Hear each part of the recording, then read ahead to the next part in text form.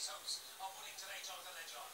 Never say that with the talent that they have available and the way that Yaya Toure is still looking as if there's some, some mileage and some fuel in the tank. It's the good news that he provided with that finish. Too good for Wayne Hennessy on his return to the first team.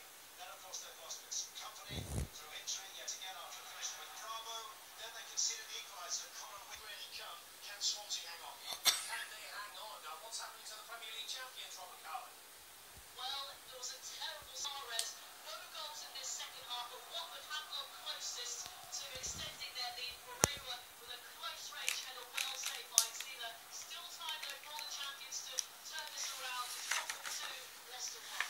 Stoke City doing everything to get back into this one and keep at 365 steady by the Gascoigne.